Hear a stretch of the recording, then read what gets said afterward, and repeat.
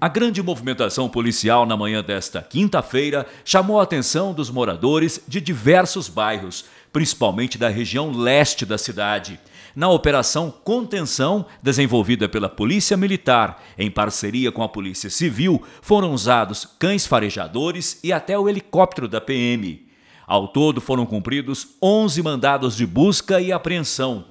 Quatro pessoas foram presas e com elas foram encontradas porções de maconha e cocaína, além de um revólver com munições, 40 celulares sem procedência. As denúncias de tráfico de drogas foram feitas através do Disque Denúncia 181. Foco justamente na prevenção criminal e, na, e para evitar o crescimento da criminalidade.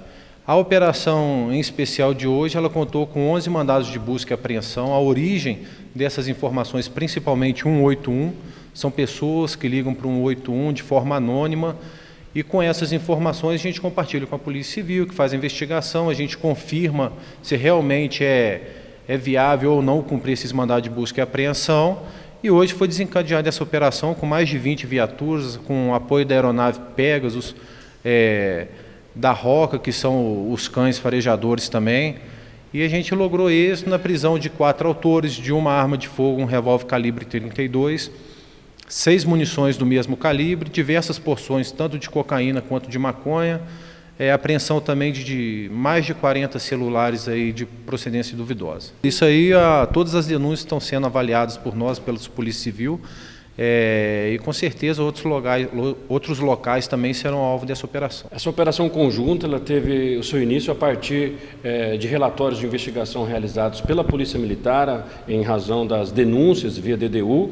Então nós, eles selecionaram os principais alvos é, dessas denúncias e repassaram à Polícia Civil. E a partir dessa investigação conjunta nós representamos junto ao Poder Judiciário por mandados de busca e apreensão. E os alvos especificamente não eram adstritos apenas um bairro, eles estavam relacionados ao tráfico de drogas e também a armas de fogo. Todos os mandatos foram cumpridos e a gente acredita que tenha sido muito exitosa essa operação. E o objetivo é realmente realizar mais operações dessa, dessa modalidade, justamente para combater a, a criminalidade crescente e evitar eventuais crimes utilizando arma de fogo e também no combate ao tráfico de drogas. Nós estamos é, ratificando as prisões em flagrantes, estamos organizando todo o material apreendido né, para as devidas perícias. Nós também vamos analisar os aparelhos celulares apreendidos, pois nós já tínhamos, a partir do mandado de busca e apreensão, autorização também para análise desses dados do, extraídos dos aparelhos celulares. Então, a, a, investigação continua a partir de agora,